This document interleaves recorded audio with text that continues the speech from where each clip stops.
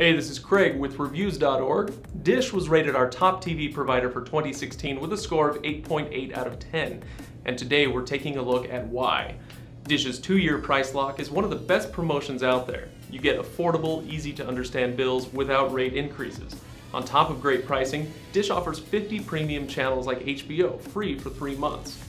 Now, one of our favorite things about Dish is its transparent pricing. It claims no hidden fees, and that actually checks out where other providers charge as much as 67 bucks a month in additional fees.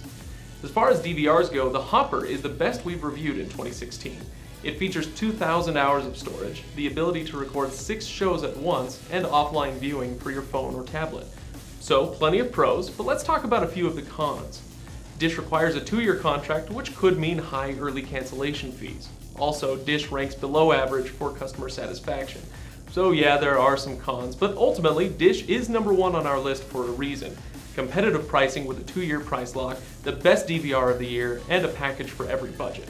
We recommend America's Top 250 package with a Hopper DVR. You get more than 290 channels and free HBO and other premium channels for three months. In our opinion, it's the best bang for your buck.